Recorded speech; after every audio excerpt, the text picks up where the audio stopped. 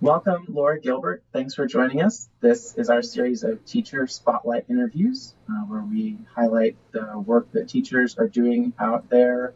Um, so, we're going to talk to you today. Tell us a little bit about yourself, how you got into flute from the beginning, and how that led to teaching and your career.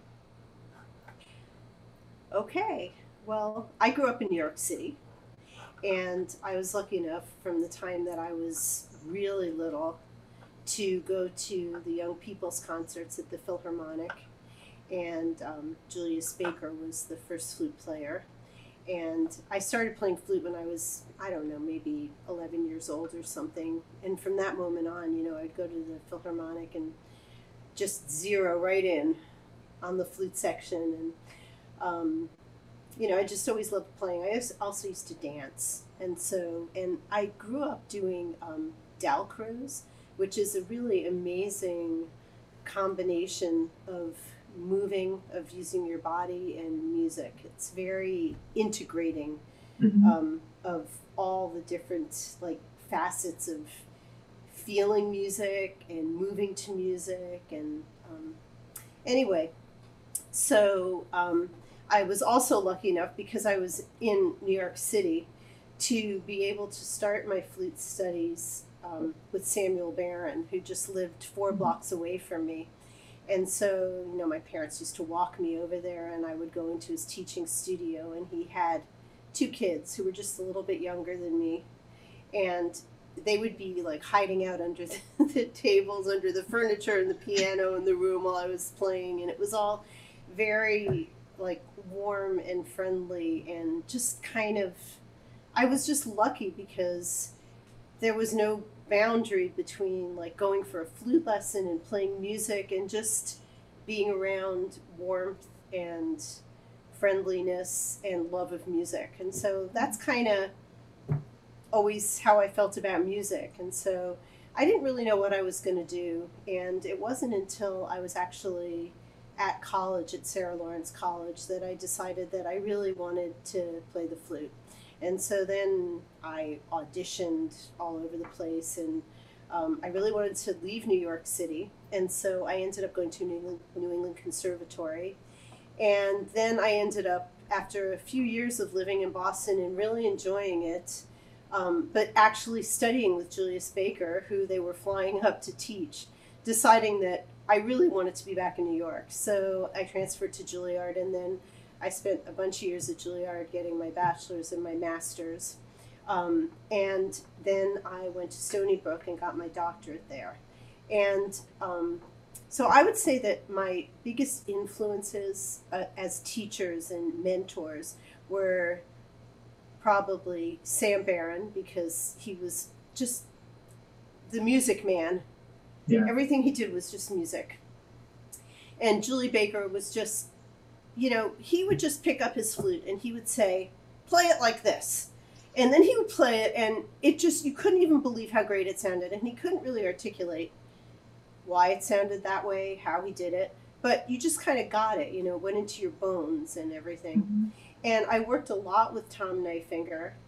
And um, and then Paula Robison was just always this kind of shining star of an inspiration. Um, and, you know, I would say that what all those people, well, Tom and Sam and Paula all had in common was just like they played and they shared. And so there was just no difference really between what they were doing as performers and what they were doing as teachers. And the, I mean, the two things were so intertwined, they were so wrapped around each other. And um, that's kind of how what I learned, you know, that there's no separation. And, you know, Tom Nyfenger would get like, he would just get all lit up when he would be showing you something and how to do it and then like he would start doing it you know and then you could tell that he was that that he was learning as much as we were as he would go through and discuss something and illustrate it and everything. Um, you know, it just always seemed to me that the people I worked with, their teaching was part of their process of playing, and um, and I think that that's uh, what was always in my mind that I wouldn't really be a complete musician without the ability to articulate in some way what I was doing and why it was important and why other people should do it. And without the words and the sharing and the bringing other people along, being a flutist and playing concerts, it just isn't worth the same. Yeah. You know, it's you need both together. Yeah. You know, and and so, um, you know, then I spent a number of summers at Marlboro, and at Marlboro, you know, you're playing with people like I don't know. I I played a concert with Rudolf Serkin when he, you know, just a, a year before he passed away. I mean, I had to help him stand up at the end wow. of rehearsal, you know, but there was still just like this joy for not only playing but sharing, teaching. You know, sitting mm-hmm. down together and and like he would just share his ideas, and that was what kept him going. It wasn't just playing another Haydn trio or Schubert again. Yeah. It was the fact that he was, you know, giving it to somebody, and so it became just a natural course of events that I started teaching a lot.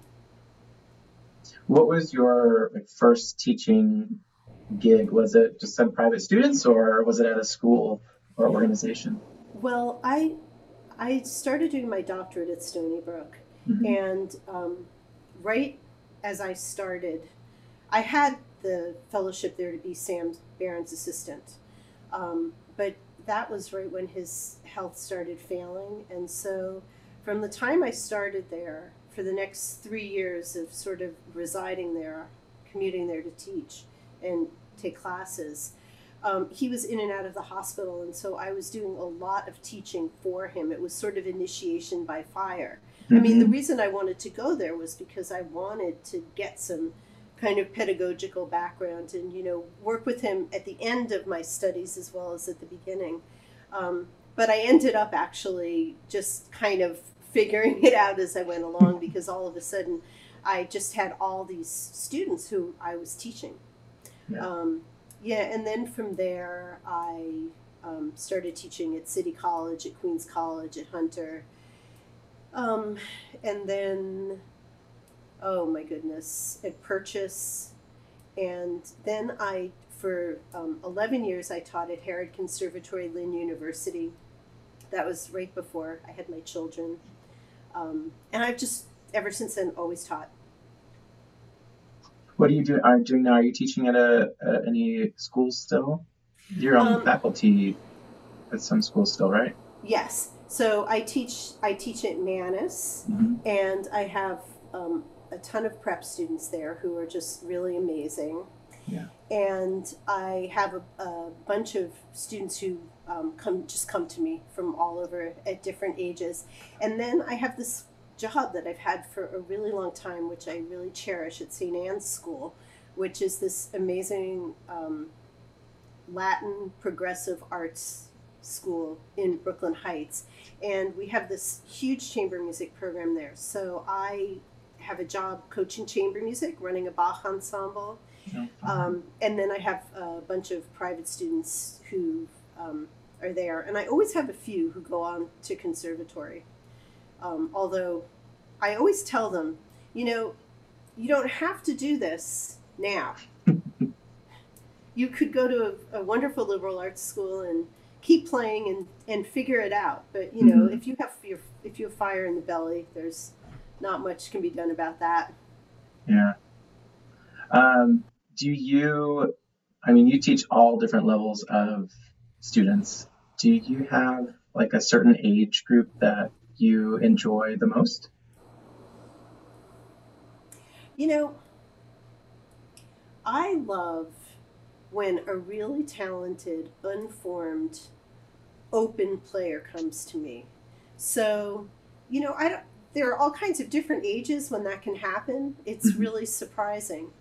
Um, but I love being able to work with somebody who has the openness of spirit and the intelligence and capacity to just take in what I'm saying so that we can have a real dialogue.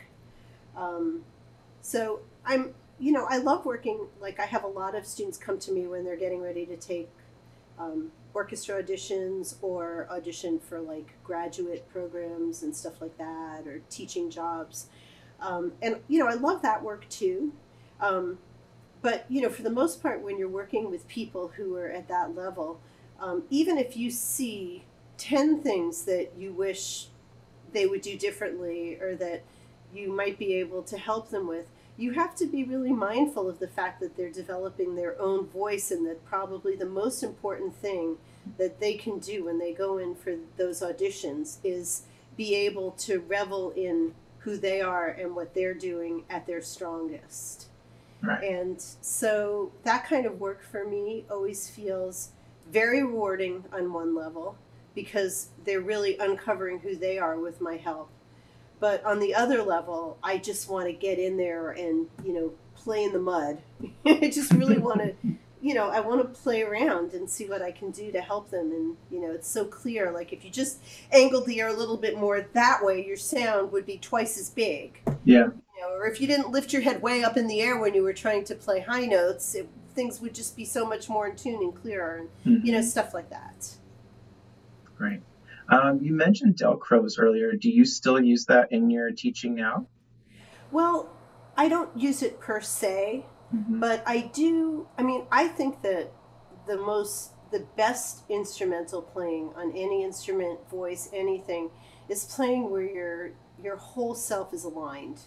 You know, you can't just be a flutist from your torso up, holding the flute and breathing. Yeah. Um, and and so yeah, I mean, I talk a lot about um, balance, about you know feeling the ground underneath you and feeling yourself sort of like you know like a tree. You know, you're just you have these roots, and then you just everything just opens up from those roots. You know, and if the roots are strong and solid but flexible, then the wind can take you in any direction, and and you're there. Everything is intact. Yeah, I Um, love that. Is, does that come from? Did you do any sort of like Alexander technique? Um, Um, I've done a little bit of Alexander Mhm. technique, but not a lot really. Okay. You know, I, I went to School of American Ballet for many years when I was a kid, so um, you know, like I said, I'm just very sort of physically focused on Yeah. That stuff. But no, not too much Alexander technique. Um, you know, Keith Underwood, who's one of my heroes in life, Yeah. um, is very into Alexander technique, and so I've certainly, you know, listened to a lot of his speaking about it, Mhm. and I've taken some lessons, some Alexander lessons, but it's not really. I don't like use that language really, you know, so Yeah. much when I teach. I did one like one semester in college, and I really enjoyed it, and it kind of helped me with movement, and somehow helped me with my performance anxiety that I had. Um, so that's great. But I also definitely identify with going to not necessarily dance school, but I grew up doing um, Greek folk dancing. Oh my So gosh! I definitely have like that rhythm, and I definitely feel the music and feel that that has influenced how I process playing and, and music just altogether. Yeah. You're lucky because um, I actually I play with a Greek guitarist named Antigoni Goni. We have Oh, a duo. yes, yes. And um, uh, a number of years ago, this this wonderful we found this wonderful piece by a composer named Atanas Ourkouzounov, um, who I think he's Serbian, Hmm. Greek. I'm not sure. Anyway, this piece, just the me- the metric structure of it was just like off the map.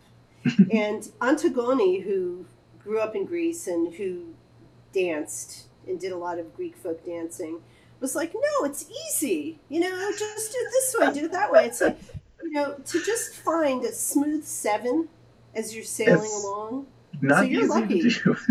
But you probably got it in your bones, you know, if Yeah. you move to it like that. yeah, I think I started doing it when I was preschool. Like as soon as I could move, essentially, my it was part of sort of going to the Greek church. So, yeah, those those um, complex rhythms are uh, not they're not easy if you're not used to hearing them all the time. But yeah, it's definitely helped my playing a lot. I love it. So, um, so other methods. Do you have any um, like method books or techniques? I know you worked with Sam Baron. I think I my teacher used one of his. There was a, like a low note or um, like almost like a a dynamics exercise that she had me do that was his.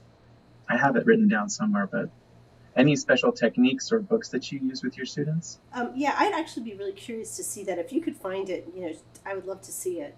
Yeah. Um, so, you know, one of the first things that I tell my students always is that, you know, I ask them, like, what's the first thing, like, when you meet a person, what's your first doorway to that person? What's the first thing you notice? What's the first thing that kind of gives you a sense of that person? You know? And um, if they give me the wrong answer, I'm like, oh, okay, well, for me, it's the eyes. You know, when I meet a person, it's like the eye contact, you know, just going for that. And and then the second thing is just their voice, how they communicate, how they express just the their intonation. You know, and and so I say that basically your the eyes are like your sound. You know, it's like nobody is going to want to be drawn in if you close your eyes when you meet them. And if you if your sound isn't doesn't grab and connect with a person then you've lost them. Mhm. and then your voice is like your air you know? So you've got to have just the flow the connection. You need to be able to take a breath and know what you want to say and then put it into your, put it into the flute to make that beautiful sound so those two things together you know are like the sort of the, the core of what i consider to be just really the finest playing on any instrument really Mhm. um, and so I love using books, methods that really um, illustrate that. So I love tone development through interpretation. Like I've given a ton of master classes using that book because you Mhm. can you can work on anything from you know breath span, dynamic color, articulation, intonation, um, you know, different ways of taking a breath to either open a phrase up or lift off of it. You know, you can use it for absolutely anything to help a student or any player become greater on any level. So I love that book. And then the De la Sonorité, the Moyse de la Sonorité, again, because, you know, those exercises like the pivot exercise, you know, the worst note on the flute, second octave E flat. So I make, you know, I, I, the exercise I do a lot, which is taken right from Moyse's book, is I, I do the pivot exercise, but I use the second octave E flat, first finger down, treat it like a harmonic, and Mhm. try to get like a glow, like a shrouded moon. Just get that sound. Close your eyes, fill the room with that E flat, and then you move down and always and pivot back up to that note. So you're always coming back to the E flat and trying to just iron out every little bit of beautiful sound and evenness of of interval using the worst note on the flute. You can also do it on a C sharp. yeah. So, um, so that's my favorite exercise. That pivot exercise is my favorite. Awesome. Um, mentioned playing with your eyes closed or not having a full voice. What? How do you approach students who you feel aren't, you know, have aren't playing with their eyes open or with a you know a clear voice? Um,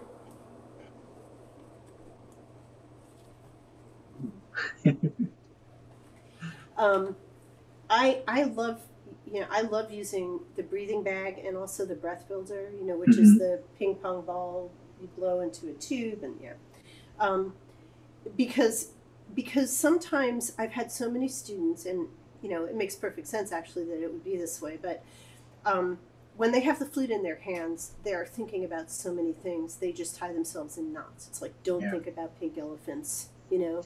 Um, it's really hard for them to just let go of, of, you know, making sure their hands are in the right place. They're holding the flute right, all that stuff.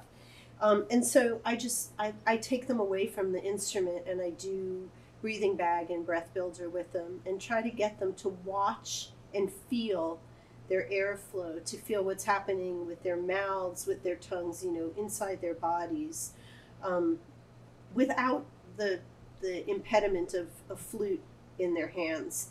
And it's just truly phenomenal Mhm. what that does.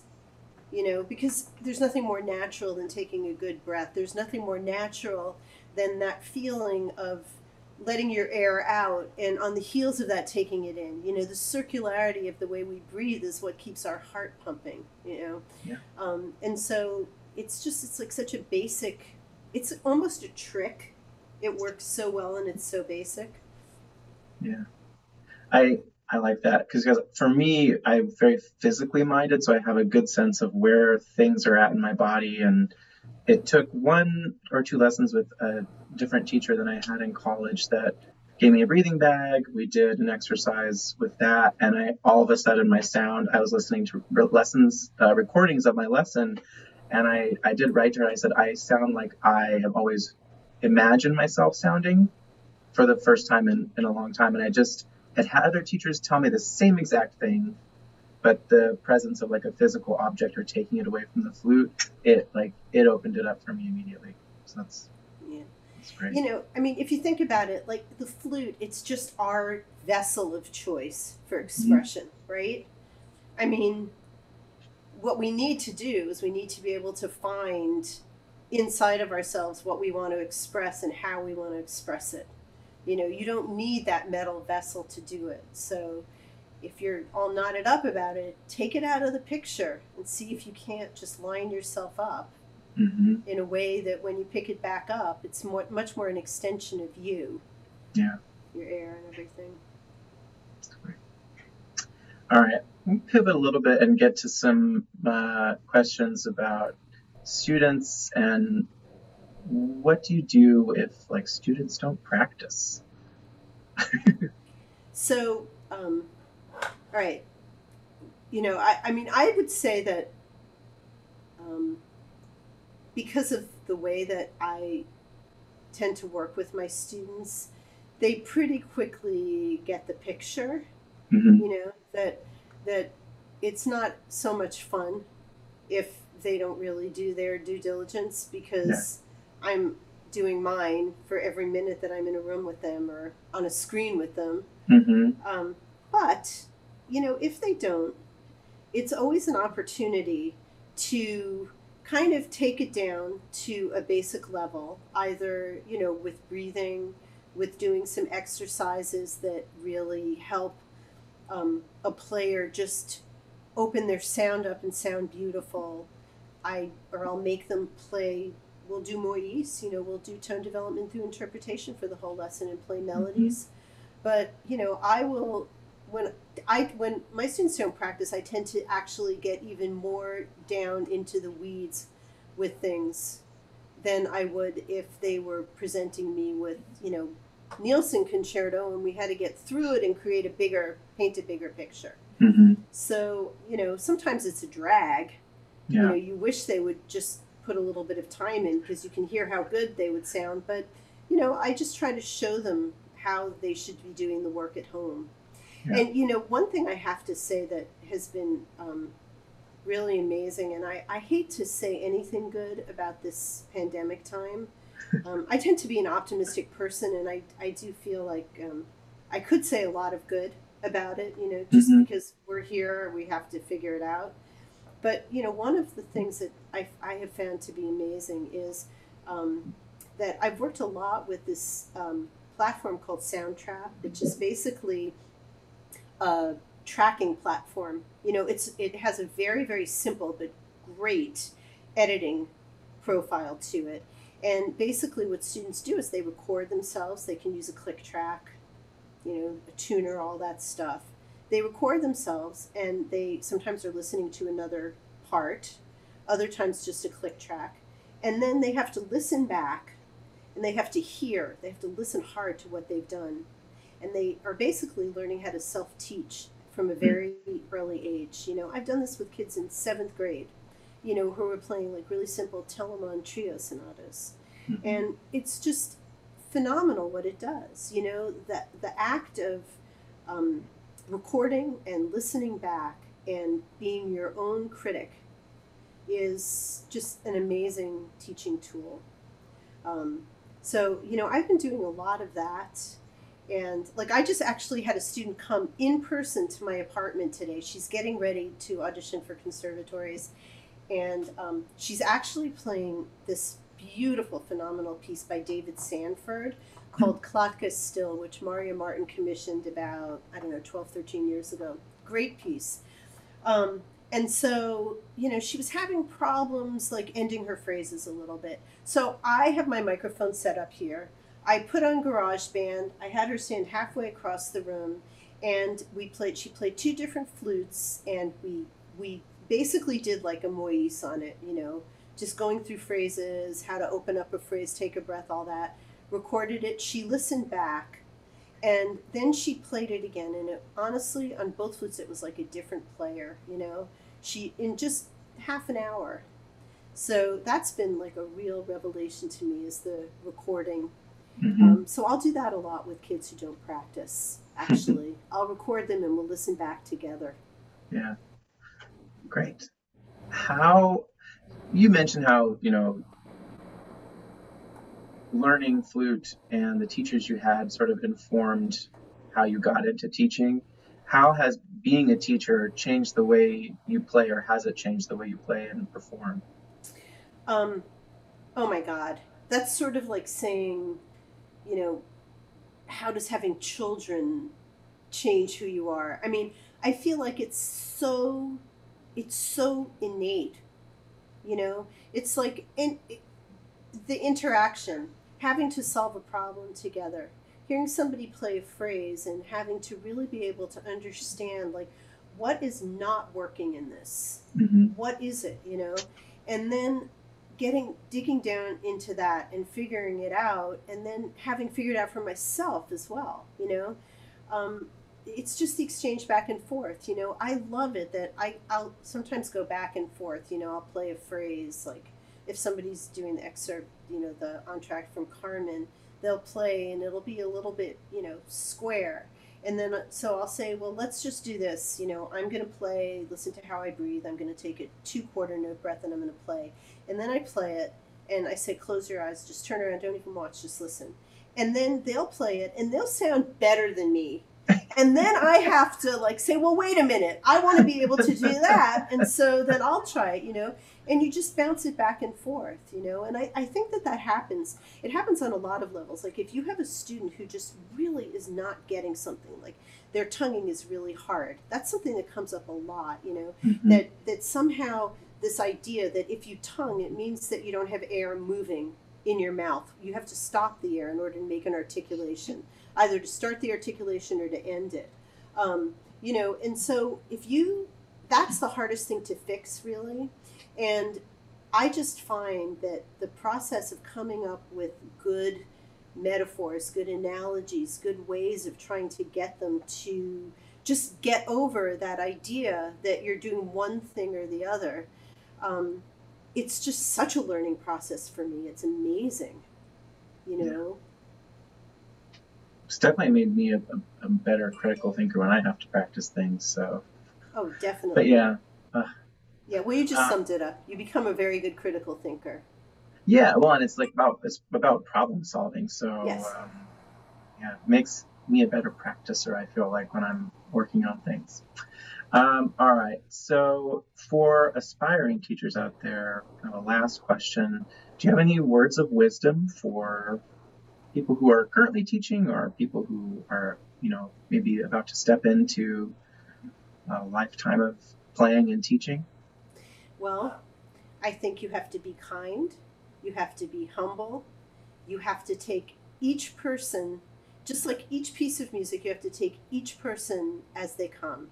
You know, you cannot have a method of teaching because um, people are as different as tones and flutes and anything else.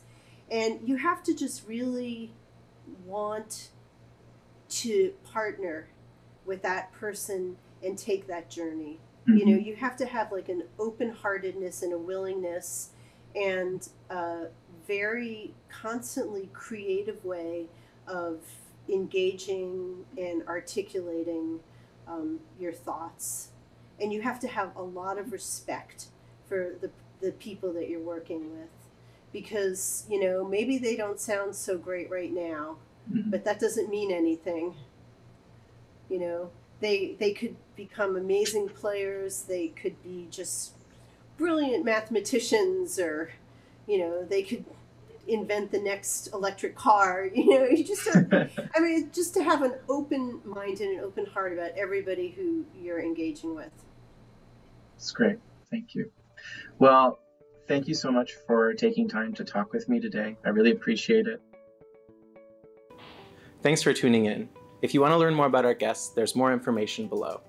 If you're a teacher, make sure to sign up for Club FCNY to unlock free shipping, extended trials, and commission for teachers, as well as other exclusive benefits for you and your students.